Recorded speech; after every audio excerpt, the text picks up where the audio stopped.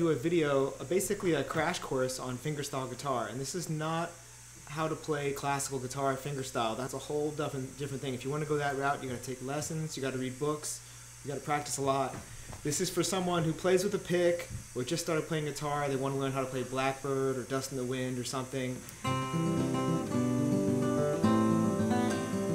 Just the basic idea, the basic kind of fingerstyle thing so you don't get too much information. And also, I don't want you watching a YouTube video of someone just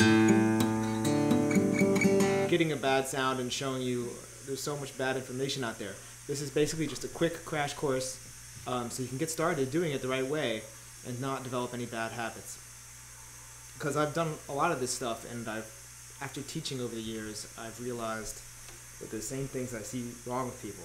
So the first thing you want to do is take your right hand, because we're playing with our fingers now, you're not using a pick, and just keep it super relaxed, just hanging by the side like that. Almost like like you're sleeping, you know, what's the least amount of muscles you can use? That's where you want to start with it. Now, pick it up and put it on the strings. However relaxed that is, the more relaxed the better. You don't want to be gripping it, you're not ready to go like that. You got to stay relaxed. It'll make the playing easier, you can play faster, cleaner, play all day without being hurt and all that stuff. You if you ever watch some of the best guitar players and piano players, violinists, whatever, you'll see they're not really working that hard. That's the trick to it. The other thing you want to make sure you do is have your hand positioned like this. You don't want it like this. A lot of people do this. Um, and I see why, because it's a comfortable hand position to rest down right there. But, and I know a lot of great players that do it, they get away with it for other reasons. The reason I don't want you to do this is because this ends up happening. When you pluck the strings, your nail plucks the string, you end up getting this sound. It's not. You also get a lot of these, which is really cool for country guitar. But you don't want that all the time. You want to be able to do that here and there. I think the good way to start is just like this. So you want the thumb you want your hand kind of like that. That's extreme version of it. Not like this. You don't want the fingers going this way, you want the fingers going that way. And your thumb, oh, it's getting a little blurry, should be in front of the fingers, not behind them like that. See what I mean? So, the other key to getting a, the right sound on the guitar, with the patterns, with the uh, different patterns you're doing, is um, you don't want to start from nowhere. So in other words, if you're plucking the low E with your thumb, you don't want to be doing these big motions. To practice that, just plant, press, plant, pull off, plant, pull off. Kind of like if you were going to knock something over, like suppose you're going to knock, I don't know, a trash can over or something. This is the trash can, you're going to kick it with your foot. You could either kick it like that, or you could put your foot on it and press. That's what we're doing hmm. with our fingers. You're putting it on and pressing. Put, press. Call it, some people call it pushing the string. It's like, and the reason that's really awesome, even when you're playing really fast, you're still kind of doing that.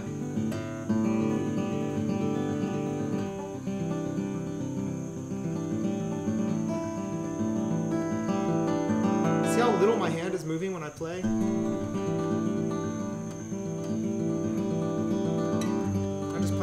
Stuff.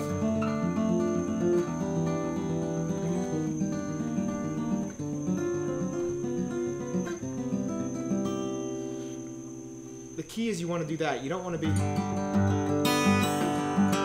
makes it harder, you're going to get tired, it's going to be more difficult, it's going to take way more hours of practice, and in the end, you could have just gotten the song quicker doing it the easy way. So, every single finger plant like that. Here's a great exercise to start doing. Um, and then we'll stop there. So you're gonna go just play a good old cowboy C chord. We all know that chord. If you don't know that chord, just Google C basic C guitar chord. And you'll figure out how to play it. I'm not gonna explain how to do a C chord in this video. And um, here's a great pattern to just get started. That's really really popular. Pluck the thumb on the A string like that. Remember, plant and play, plant and play. Then the first finger, the index finger, plucks the G string same thing, I'm already planted. My fingers are already sitting there going thumb, and then the thumb plants and plays the D string. So we have thumb, index, thumb, Then the middle finger plays the B string, plant and play. Thumb, index,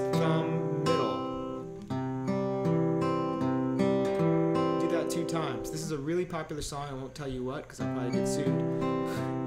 it's, it's a lot of popular songs actually. Start doing that. Do it nice and slow and evenly. You can, if you've got a metronome, here I'll fire one up. You want to do it with the metronome super slow. Let's put the metronome on. What's a good tempo? I love 80.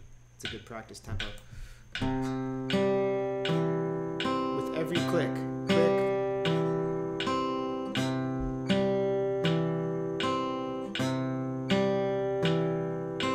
If you get good at that, speed it up. You can either speed up the metronome or you can do two notes per click. So da da da da da da da da.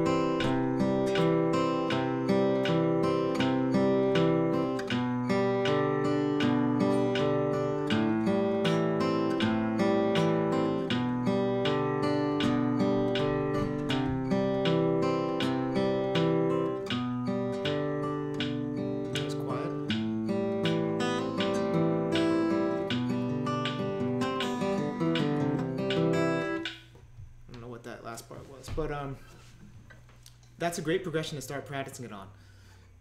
Thumb, index, thumb, middle. And then the next chord, second finger, second fret of the A string, and pinky on the third fret of the B string. Do that two times. It's really a G chord, but you're just missing the other. You're missing these two top two strings. The next chord is A minor seven. And easiest way to get that is just play a C chord and then take off your third finger. Then go back to the last one.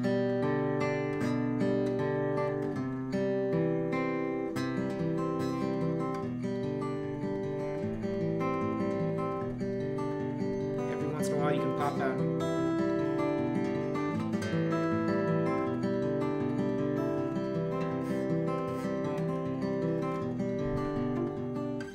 Um, if